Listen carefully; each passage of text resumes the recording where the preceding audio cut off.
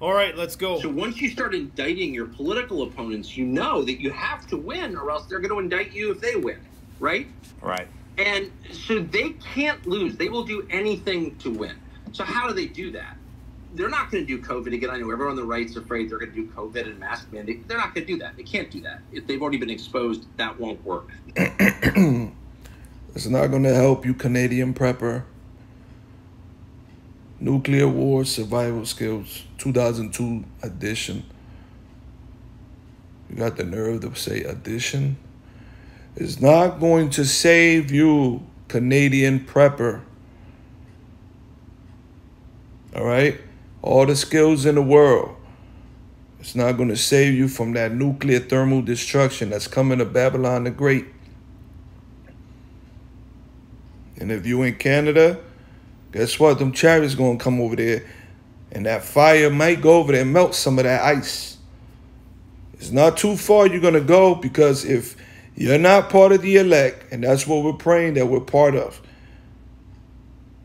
all the tactics, or the survival skills, you're not gonna escape the wrath of Yahweh Bahashem Yahweh Shai. Call all Yahweh Shem Shai. It's another one through the Spirit. Lord willing, you edify. All right. Double honors to my teachers, the elders and apostles, the great millstone. Shalom, brothers. Listen. There's going to be, no, what are they going to do? They're going to go to war with Russia. That's what they're going to do. There will be a hot war between the United States and Russia in the next year.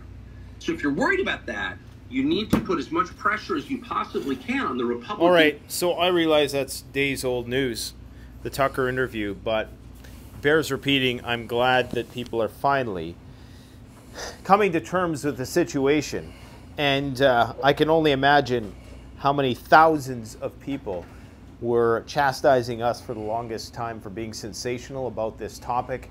Now, one of their gurus is finally talking about it. So, hey, I won't hold it against you just please get prepared for what is coming. Now, we got a litany of information to share with you today. I'm just going to rattle it all off. But before I say that, I got to say, guys, people always talk about when is World War III going to start. There's not going to be any official demarcation until the thing is done. And that is the problem. You don't go into a movie and say that the movie hasn't started yet because you're not at the climax of the movie. Okay, typically the movie starts, about an hour or so goes by, and then you approach the climax and the movie ends. Okay, the World War III is here. This is World War III. There is an... yeah, and he's not lying about that one. You know, World War III, it's already in motion. All right, there's been uh, America, Babylon the Great already declared war against Russia by assisting and aiding Ukraine with uh, uh, uh, weapons, tanks. They already declared war. All right? So he's right about that. But it's going to, the Heavenly Father, Yahweh Shem Shai, is going to climax. He's going to stir this up where he's going to put in the minds and the spirit of these leaders like Putin and, uh, uh, uh, you know, these leaders to push that button. And that's when them nukes are going to go up. And this is coming. This is coming. Revelation, where is that? Oh, man. Let me just get it. I just had it. I don't know where they just went. Bear with me. All right. World War Three is inevitable. It's coming. What's that? Eleven and fourteen.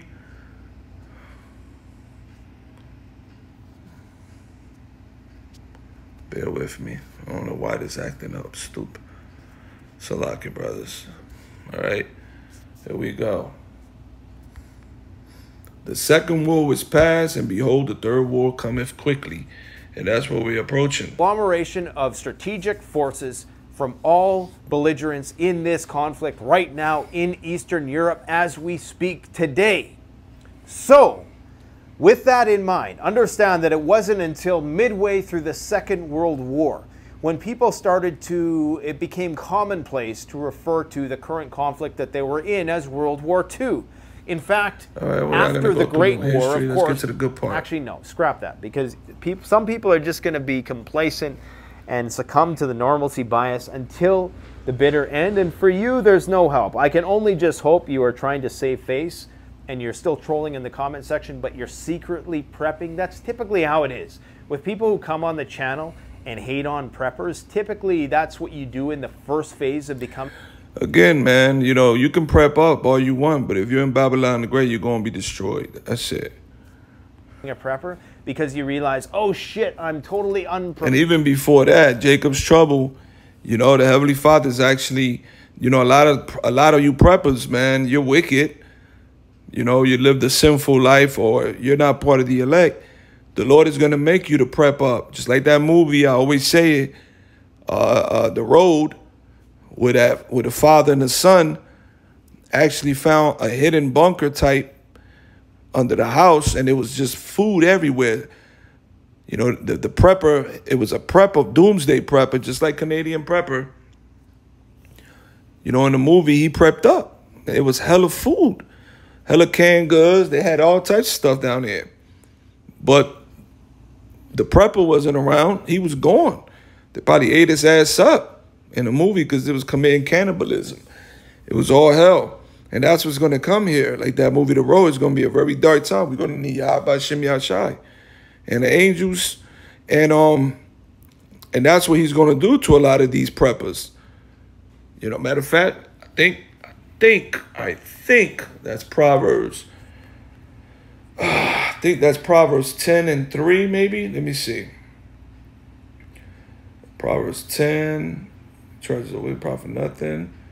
I mean, the Lord will not sell it so right. Yeah, yep. Proverbs 10 and 3. Here it goes. The Lord Yahweh would not suffer the soul of the righteous to famish. You know, that word famish is to starve, you know. You know, the Lord is going to make sure that the righteous, the elect, you know, the uh, one third women, children, whoever the Lord's going to have mercy in that day, He's going to make sure they don't famish, they don't starve. They, the Lord, we don't know how the Heavenly Father is going to do it, but guess what? We believe through faith and the scriptures that He's going to do it because the scripture says it. All right, and we believe it. The Lord will not, the Lord Yahweh will not suffer the soul of the righteous to famish.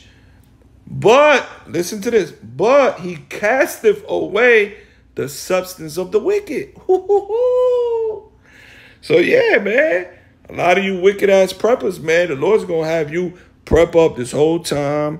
Flashlights, batteries, blankets, and antibiotics, uh, generators, gas, water, food, canned goods, slippers, whatever, candles. You know, you're going to do all that, and the Lord's going to make sure, he, you know, he bring judgment upon you for whatever reason. And then the elect is going to stumble up upon it. The elect going to find it. Going to be the angel. They're going to guide you there. They might just call, you know, you have brothers, you have brothers you know, in the in the, you have brothers in the truth already have dreams and testimonies about, you know, seeing angels, you know, picking them up in vans, telling them to come in and taking them to certain areas where other brothers were eating and drinking. I had dreams where the angel guided me to like a big ass BJ's and he told me to get everything I want and the refrigerator was full of food and all types of stuff, man. Come on, man. So the Lord shows those visions. That's going to happen. The scriptures don't lie. You know? Let's listen a little bit more. Prepared, and in order to justify your lack of preparedness, you try to rationalize why prepping is stupid. While slowly, gradually, you become a prepper in the shadows, and all of a sudden, you're a prepping YouTuber. Hmm, maybe I speak from experience there.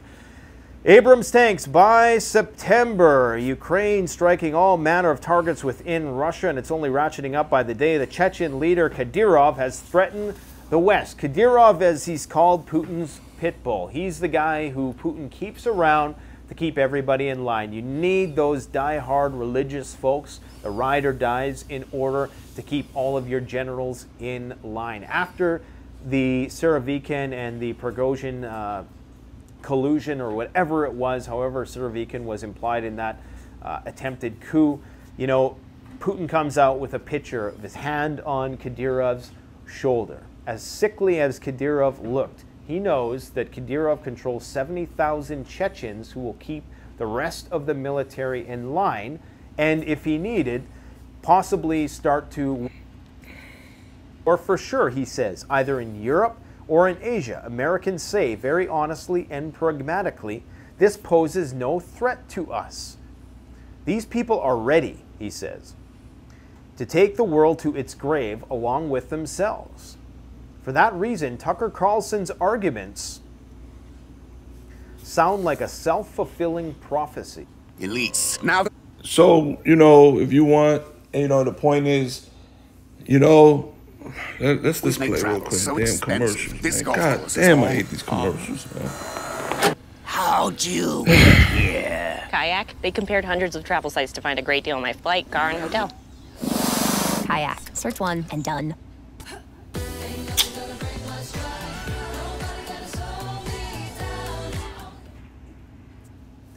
And he lets Tucker talk here. I'm just going to skip ahead because we already just listened to this. Who says that? He says, a dead man walking. Tucker is a dead man walking, he says. A dead man walking. He sincerely believes that the next step after the accusations and the declaration of impeachment will be an assassination of Trump. But this man, who is currently the most popular English speaking journalist, and that pretty much is true no matter how the uh, legacy media tries to suppress that fact. I'm not saying that there's not a that the mainstream still doesn't have the dominant market share in that space when you add up all of their talking heads, but talk. Uh, yeah, Canadian Prepper, come on, man. You talk too much. In other words, if you listen to the whole thing, as you see, breaking news, nuclear forces put on high alert, you know, there's nuclear missiles already being deployed. You know, the silos, the tanks, the subs, everything's being prepared, man. This thing is going down, man. It's going down, man. and uh, we're going to bring them back again to explain the difference between these things because I mean we're just on a, a clear escalatory pathway towards nuclear fucking war. I mean, it, it's crazy, man. It's absolutely crazy. It's not crazy, man. It's what Yahweh Shem Yahushua wants.